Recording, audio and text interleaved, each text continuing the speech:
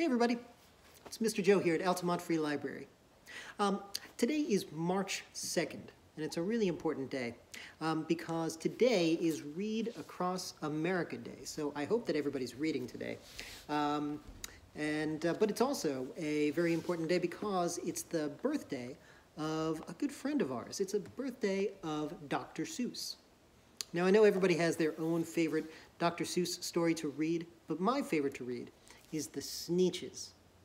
Has anybody ever read The Sneetches before? Hmm.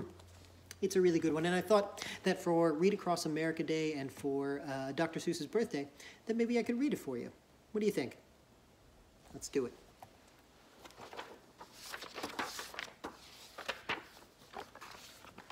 The Sneetches by Dr. Seuss. Now, the Starbelly Sneetches had bellies with stars, and the plain belly sneetches had none upon theirs. Those stars weren't so big. They were really so small you might think such a thing wouldn't matter at all. But because they had stars, all the star-belly sneetches would brag, we're the best kind of sneetch on the beaches.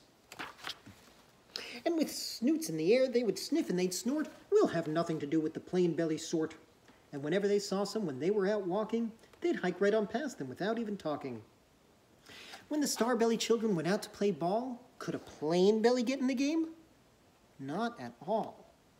You only could play if your bellies had stars and the Starbelly sneetches and the plain belly sneetches had none upon theirs. When the Starbelly Sneetches had Frankfurter roasts or picnics or parties or marshmallow toasts, they never invited the plain belly Sneetches. They left them out cold in the dark of the beaches.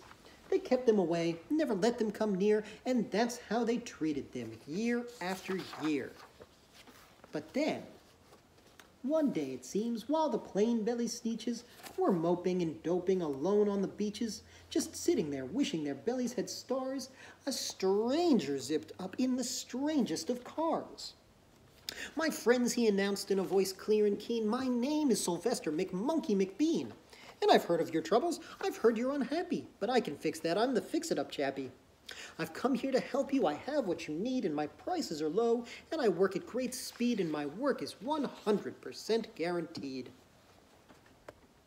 Then old Sylvester McMonkey McBean put together a very peculiar machine. And he said, you want stars like a starbelly sneetch? My friends, you can have one for $3 each. Just pay me your money and hop right on board. So they clambered inside, and that big machine roared, and it clunked, and it bunked, and it jerked, and it burked, and it bopped them around, but the thing really worked. When the plain belly sneetches came out, they had stars. They actually did. They had stars upon theirs. Then they yelled at the ones who had stars at the start. We're exactly like you. You can't tell us apart. We're all just the same now, you snooty old smarties, and now we can come to your Frankfurter parties.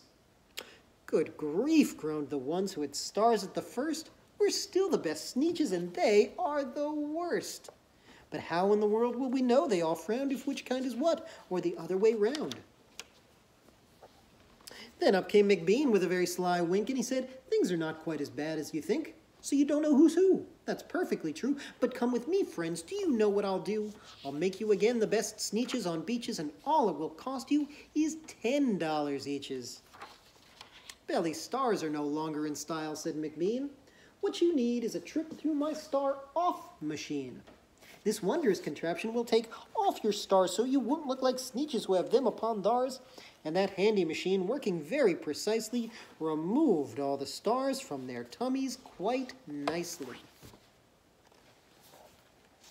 Then, with snoots in the air, they paraded about, and they opened their beaks, and they let out a shout. Now we know who is who, now there isn't a doubt. The best kind of sneetches are sneetches without.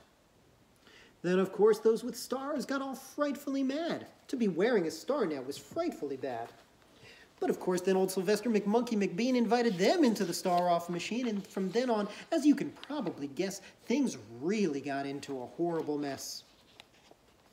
All the rest of that day on those wild screaming beaches, the fix-it-up chappie kept fixing up sneetches.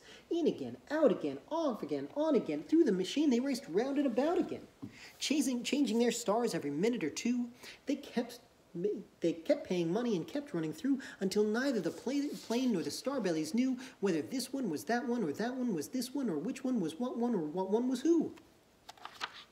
Then, when every last cent of their money was spent, the fix-it-up chappie packed up and he went. And he laughed as he drove in his car up the beach.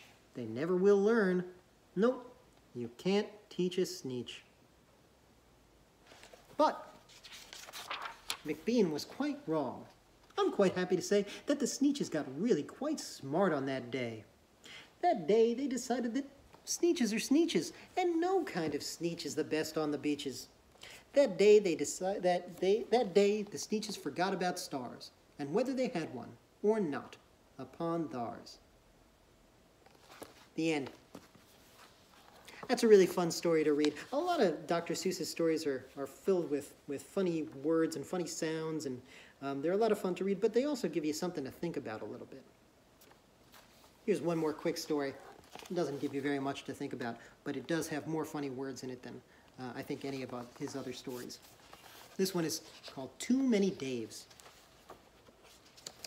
Did I ever tell you that Mrs. McCave had 23 sons and she named them all Dave? Well, she did.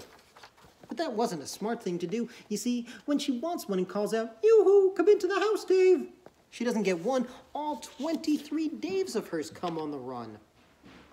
And this makes things quite difficult at the McCaves.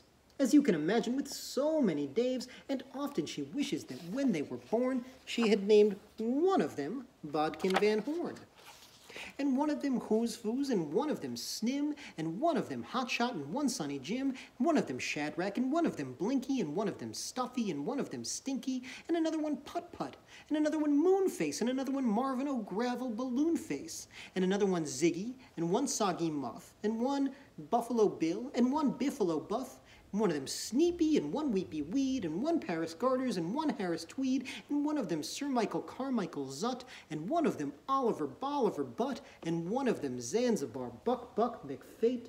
But she didn't do that. And now it's too late. I hope you guys all have a great Read Across America Day and uh, a great Dr. Seuss's birthday. We'll see you guys again real soon. Take care.